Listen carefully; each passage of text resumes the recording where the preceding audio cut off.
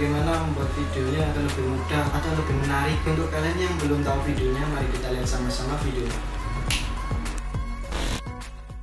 Halo assalamualaikum warahmatullahi wabarakatuh. Kembali lagi dengan saya Wildan Habibi Oke di video kali ini saya akan membahas putar tentang video kemarin yang ada di Instagram saya. Soalnya banyak teman-teman yang nanya Bang bagaimana buat videonya? Bang bagaimana membuat videonya agar lebih mudah atau lebih menarik? Oke untuk kalian yang belum tahu videonya mari kita lihat sama-sama videonya. It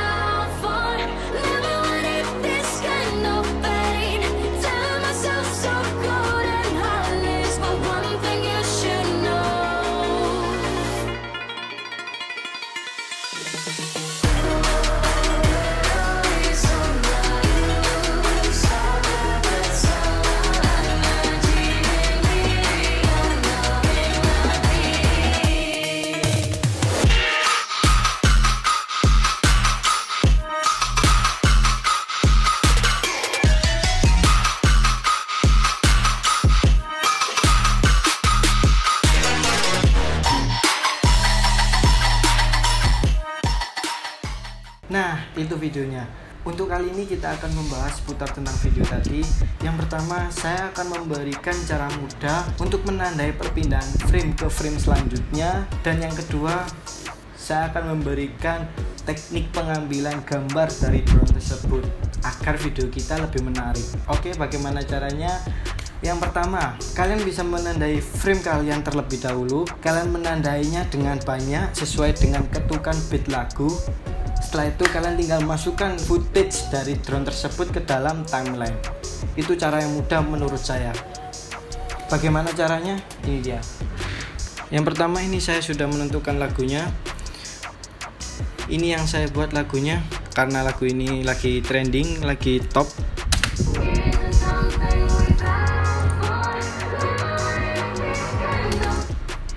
Nah, dari yang diunggulkan lagu ini adalah ketukan dari beatnya. Maksudnya gini, kita menandai framenya untuk perpindahan frame ke frame selanjutnya agar lebih mudah. Kalian play dulu lagunya, setelah itu kalian tandai. Contoh tandainya seperti ini. Misalnya kita menandainya di frame sini. Kita klik M. Nah, muncul untuk tandanya. Setelah itu kalian cari lagi perpindahan framenya ke frame selanjutnya, kita tandain lagi sampai seterusnya gitu.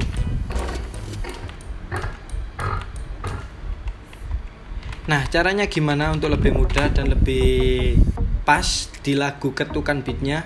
Kita play dulu lagunya.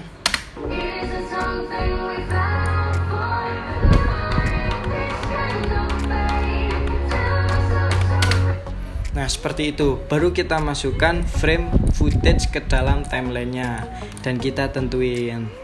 Misalnya aku pakai ini, pakai footage drone ini yang ada di promo.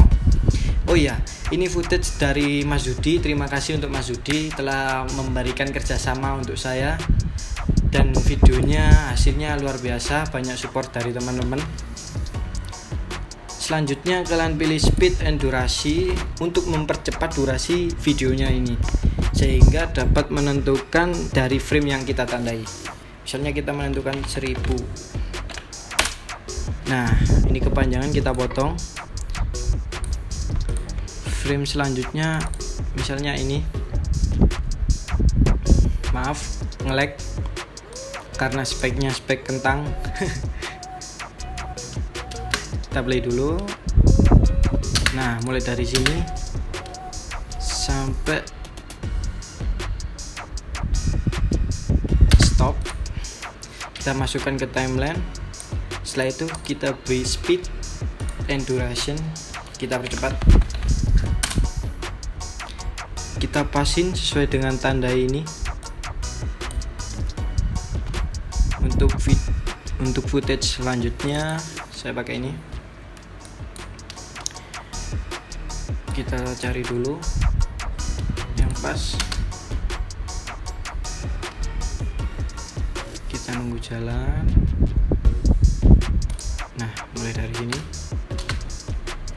Maaf ya nge-lag ya karena spek komputernya ini terlalu kentang lah menurut saya.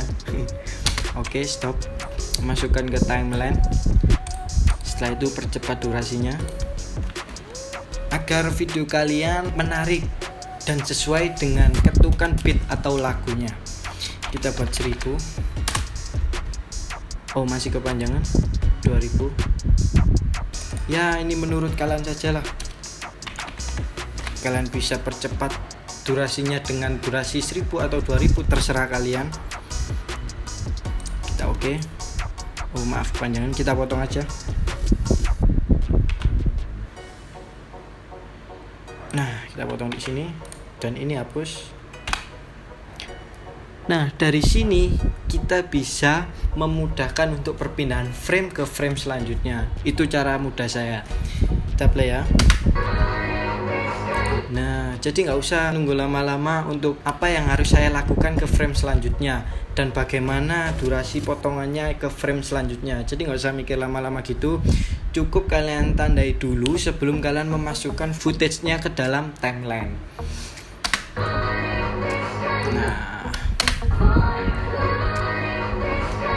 Nah gitu saja Kita nggak usah lama-lama di cara yang nomor satu ini Takutnya kena copyright Maaf ya Untuk cara yang kedua Kalian harus pintar-pintar mengambil gambar Teknik pengambilan gambar dari drone-nya.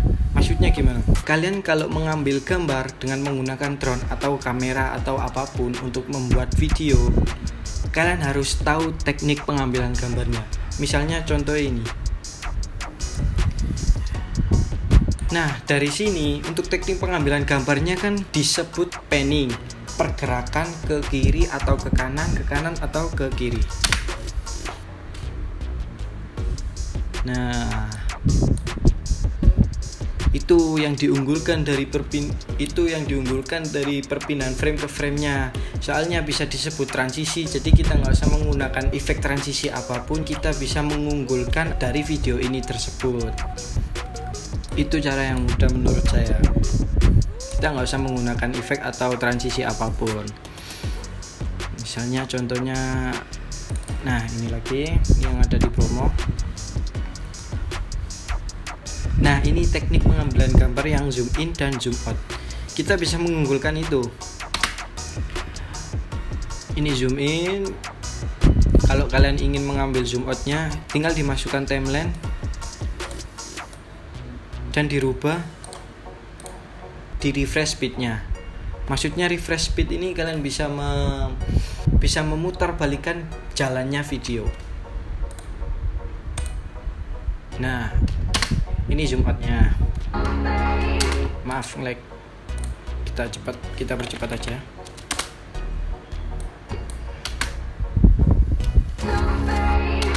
Maaf ya ini soalnya speknya enggak nggak bisa diandalkan jadi gitu